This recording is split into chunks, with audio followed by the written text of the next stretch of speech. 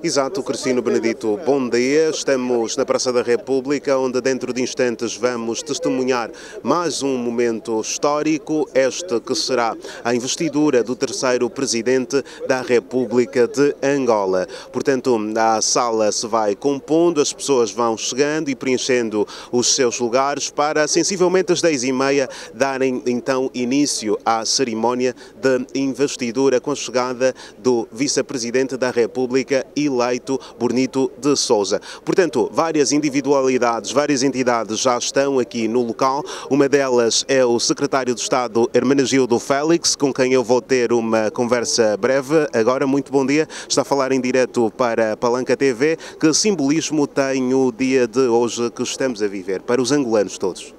Muito obrigado, caro jornalista. Eh, este é para mim e para todo o povo angolano o dia mais alto que é o culminar do processo de, de, de eleições com a investidura do nosso vice-presidente e presidente da República. Portanto, uh, quais acham que serão os desafios de, de João Lourenço enquanto da Presidente da República durante a legislatura que a partir de hoje vai então abraçar quando assim ser investido? O lema que foi escolhido pelo partido é claro, corrigir o que está mal e melhorar o que está bem. Tenho em crer que o presidente João Lourenço, que é um exímio conhecedor dos problemas do povo angolano, porque tem ocupado já vários cargos governamentais, e tenho em crer que é de facto uma pessoa que reúne as condições necessárias para o processo de desenvolvimento do nosso país. Portanto, o Sr. Secretário tem a certeza que não é a primeira investidura que acompanha. Está na primeira, segunda ou na terceira já?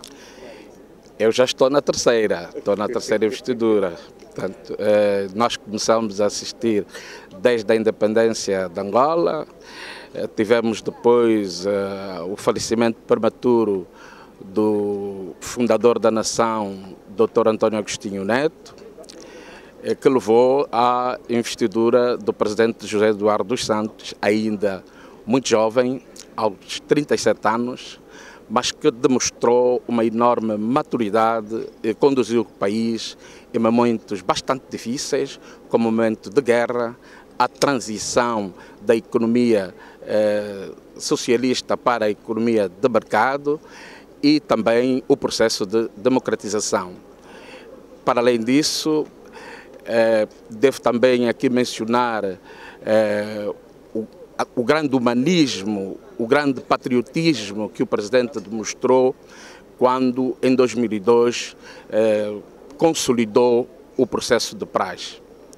São feitos eh, muito marcantes. Eh, o camarada presidente José Eduardo Santos certamente ficará na história não só da, da Angola, não só do povo angolano, não só dos povos africanos, mas de todo o povo do mundo. Por todos os feitos que fez, ele será sempre lembrado, como, como disse, é, como um grande patriota. Uma vez, lembro-me, numa entrevista, perguntaram ao Sr. Presidente como é que gostaria de ser lembrado. E ele disse, como um grande patriota. E é, de facto, um patriota de grande dimensão e que Angola deve se orgulhar. O camarada João Lourenço será o seu continuador, certamente terá todo o apoio eh, do povo angolano, de todos os governantes, para que Angola demonstre de facto a solidez da sua democracia e a maturidade do seu povo. Obrigado, Hermenegildo Félix, secretário de Estado do Ministério do Interior, pela entrevista. É, portanto, um veterano naquilo que é o acompanhamento de investiduras ou tomadas de posses de presidentes. Esteve na primeira, esteve na segunda e agora também está nesta terceira, onde João Lourenço será então o presidente da República impulsado, investido, e Bonito de Souza, o vice-presidente. Neste dia que só está a acontecer tudo porque no dia 23 de agosto o país realizou eleições e estas eleições deram então vitória ao partido MPLA com 61% dos votos e conquistando assim 150 lugares no Parlamento.